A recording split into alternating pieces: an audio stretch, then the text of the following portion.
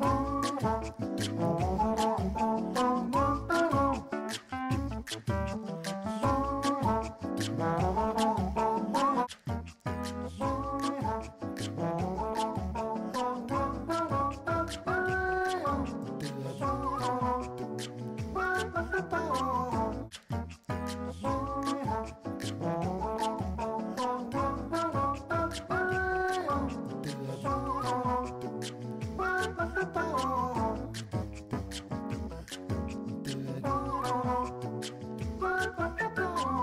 Damit ein herzliches Willkommen hier zurück auf dem Kanal The Gentleman's Club. Vielen Dank, dass du wieder eingeschaltet hast. Freut mich, dass du wieder am Start bist. Wenn du neu auf dem Kanal bist, freut mich das natürlich genauso sehr. Schau dich hier gerne weiterhin um, hier gibt es einiges zu entdecken. Heute, wie es bereits im Titel steht, kleine Storytimes, beziehungsweise einfach so ein paar Fashion-Teile, die ich aus so einem schmucken kleinen blauen Beutel ziehen werde. Und zu jedem Teil habe ich dann eine kleine Story parat und auch zu dem Beutel an sich gibt es natürlich einiges zu erzählen. Das Ding sieht abgeranzt aus, das Ding ist alt, aber man kann es einfach nicht wegschmeißen, einfach weil zu viele Erinnerungen dranhängen, wird der ein oder andere sicher kennen. Wir wollen auch direkt loslegen. Wir fangen mit diesem blauen Beutel an. Vielleicht hat es ja der ein oder andere schon erkannt. Das ist ein Beutel von so einer Partyorganisation, mit der man früher als Jugendlicher sehr gerne in den Urlaub gefahren ist auf Rimini, auf Malle oder eben ja sonstige Partyorte wie Lorette. Rimini war eben so ein Ort, wo ich eben mit meinen Leuten, glaube so vor vier Jahren unterwegs war mit so einer Organisation. Es war eine echt coole Reise, viele Erinnerungen sind hängen geblieben. So die Highlights will ich jetzt einfach mal raushauen. Und zwar einfach natürlich die typische Partymeile an sich, die einem einfach alles geboten hat, von Clubs bis Feiern bis Getränken bis Verpflegung oder sonstigem. Aber natürlich sind diese Meilen eben auch mit Vorsicht zu genießen. Gerade wenn man eben alleine oder in kleinen Gruppen unterwegs ist, muss man hier aufpassen. Ich empfehle grundsätzlich nicht nur zu zweit oder gar alleine dort unterwegs zu sein, wenn es eben auf 0 Uhr zugeht oder eben wenn es einfach in die Nacht geht, einfach weil da echt viel passieren kann. Da sind natürlich auch ein paar Leute unterwegs, die es jetzt nicht unbedingt immer gut mit dir und deinen Wertsachen meinen. Manchmal auch natürlich Leute unterwegs, die es vielleicht ganz gut mit dir meinen. Gerade als Frau ist da ganz gerne auch mal Vorsicht geboten ist eben auch nur so zu empfehlen, bitte immer nur in größeren Gruppen unterwegs sein. Und was jetzt auch so eine kleine Geschichte eben ist, was jetzt für den einen vielleicht ganz lustig klingt, ist eben für den anderen eine nicht so schöne Geschichte und natürlich auch eine ernste Sache. Aber Leute, geht vielleicht nicht an den dunklen Strand, wo nichts ausgeleuchtet ist bei Nacht. Strand ist für den Tag da, Strand ist für die Sonne da, aber nicht für die Nacht. Es hieß eben bei uns, dass sich da die Leute ganz gerne in den Sand eingebuddelt haben oder ein bisschen vergraben haben, um dann rauszuspringen und sich zu erschrecken, um eben die Leute dort zu überfallen oder sonstiges zu machen. Also ist für den einen ganz lustig, aber ist eigentlich eine ernste Sache, wenn man eben betroffen ist. Wie gesagt, es ist auch so eine Sache, die man dort gehört hat. Ich kann es mir eben auch gut vorstellen, einfach weil die ganze Strandregion komplett duster ist. Da ist nichts ausgeleuchtet. Wenn man da irgendwie als Pärchen gerade vielleicht so seine Zweisamkeit da eben genießen will oder eben alleine irgendwie unterwegs ist, ist es natürlich eine super Sache für Leute, die dir was Böses wollen. Und so ist es da eben auch ganz gerne mal in so dunklen Stränden. Also haltet da euch nachts auf jeden Fall fern von.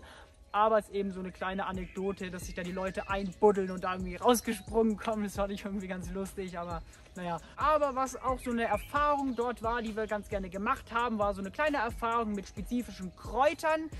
Der ein oder andere wird es sicher kennen, sind so Kräuter, die man ganz gerne zu sich nimmt, um einen schönen Tag zu haben. Und so haben wir diese Kräuter auch in leckere Leckereien eben verbacken, weil wir uns dachten, hey, wir essen das Ganze, ist sicher eine super Idee. Ein Kollege von mir hat dann ein paar Gebäckstücke mitgebracht und wir haben uns alle so gefragt, hä, wie viele muss denn da jeder von essen? Das reicht doch bestimmt nicht, wenn wir da nur ein halbes essen, da muss doch jeder ein ganzes Gebäckstück essen. Wir wussten allerdings zu dem Zeitpunkt nicht, dass der Kumpel, der eben unserem Kollegen das mitgegeben hat, zu ihm gesagt hat, hey, pass auf, ein Viertel reicht für jeden Einzelnen erstmal aus und seid ihr wirklich weg.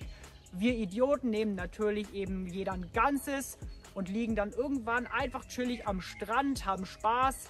Ich weiß noch bei dem Zeitpunkt, als ich aufgestanden bin, das erste Mal, ich glaube, ich habe noch nie sowas komisches erlebt. Alles hat sich gedreht. Ich weiß noch, als wir auf dem Rückweg vom Strand zum Hotel eben waren, dass dieser Rückweg wirklich einer riesigen Expedition, einer riesigen Reise eben ja gleich kam.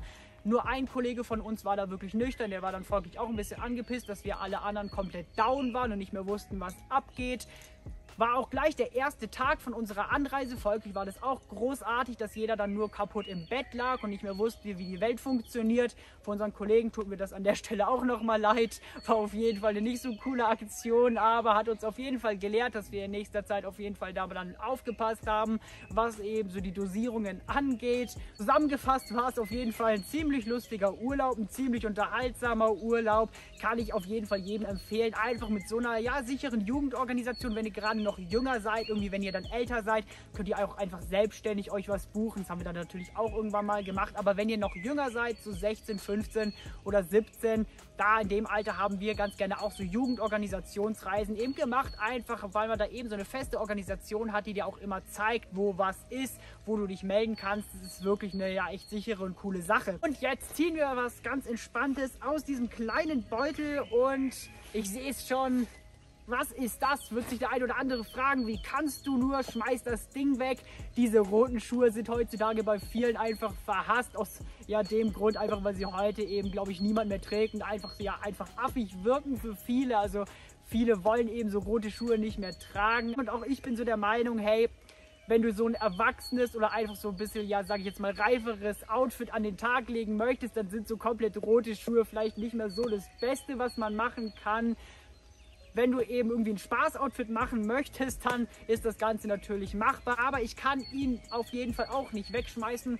Aus dem Grund, weil es immer noch gute Schuhe sind und man die nicht wegschmeißt. Aber aus dem anderen Grund, weil der Schuh auch von der schönen Reise mit meinen Jungs eben stammt. Das war, glaube ich, unsere erste Reise, die wir gemacht haben. Malgrad müsste das gewesen sein. Ist in der Nähe von Barcelona, weil wir eben dort auch immer nach Barcelona fahren konnten. Diese schönen Teile habe ich eben aus dem Städtchen Barcelona eben gekauft. War eben echt schöner Tag, wo man eben war. Das war eben so ein Tag, wo man eben nach Barcelona gefahren wurde, wo man eben auch so ein bisschen die Stadt sehen konnte, shoppen konnte, mit seinen Jungs da unterwegs sein konnte. Und ich weiß noch, wir waren fünf Minuten in dieser Stadt voller Vorfreude, hatten alle Spaß, wollten uns erstmal kurz was zu snacken holen in einem entspannten ja, Fastfood-Laden. Was passiert nach nicht mal fünf Minuten, wo wir in dieser Stadt sind? Meinem Kollegen wird erstmal versucht, der Geldbeutel zu klauen, wo auch einige hundert Euro eben drin waren.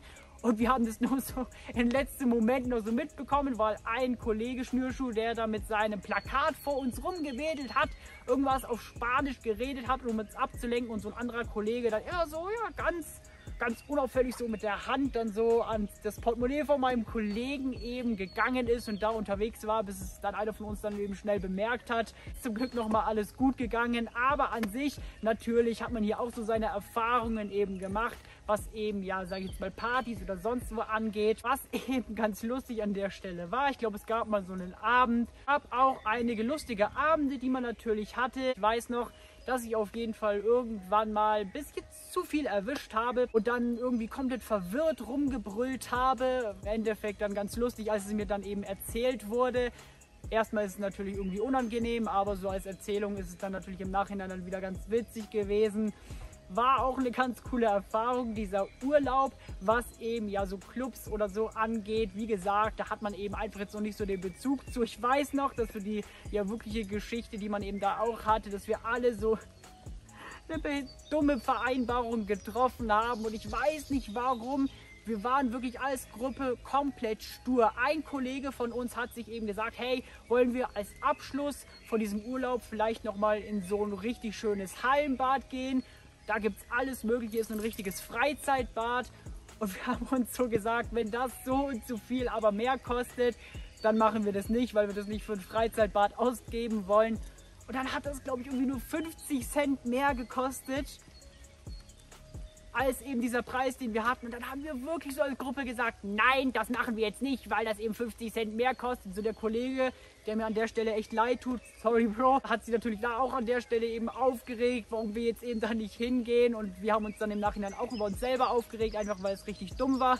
Kann man vielleicht auch nachvollziehen, weil es ein echt nicer Tag hätte werden können aber war eben auch so eine kleine lustige Geschichte, die man dort hatte. Auch der Schuh stammt eben aus der wunderschönen Stadt Barcelona, dieser typische Ultra Boost Schuh. Und das war mein erster Ultra Boost, den ich mir jemals geholt habe. Und ich habe natürlich immer so im Hintergedanken gehabt, bist du dumm?